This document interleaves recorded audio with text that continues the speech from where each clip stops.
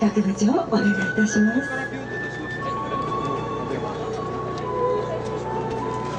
認定書天下取り将軍徳川軍殿。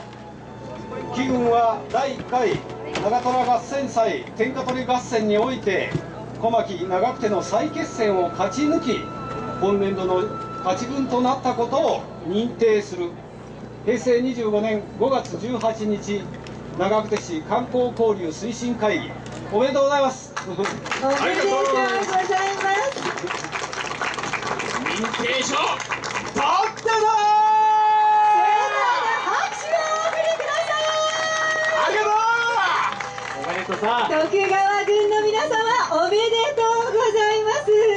え将軍の徳川軍の皆様には、えー天下取りのお守りが贈られるんですねそうなんですよ。そうなんです。あのこちらのお守りすごくねあの由緒あるお守りでして、あの橋場郡ゆかりのですね豊国神社、そして家康様ゆかりのですね名古屋東照宮で私たちメンバーそして関係者ともどもあのそのお守りのお祓いそして小入れを行った本当に貴重なお守りとなっています。こちらをプレゼントさせていただきます。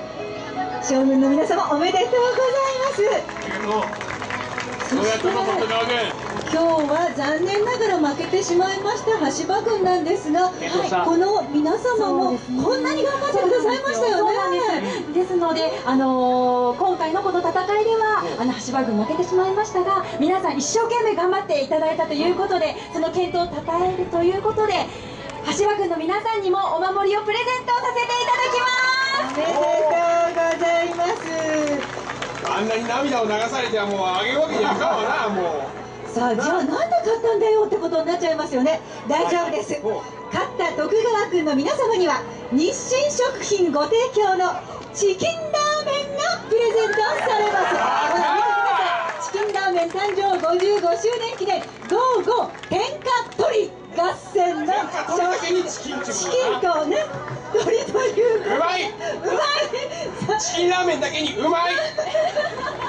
CM 狙っとる。あのこちらの商品などですね。下で、えー受付のところで皆様にはプレゼントされますのでぜひ帰りお受け取りになってください。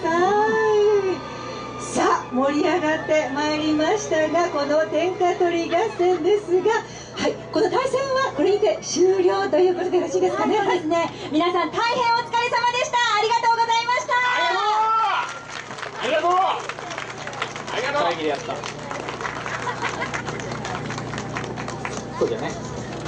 ではでは、参加していただいた皆に戻っていただくと、そうですねじゃあもう一度、はい大きな拍手を。拍手でお送りください。皆さんありがとうございましたありがとうございました会議だぞ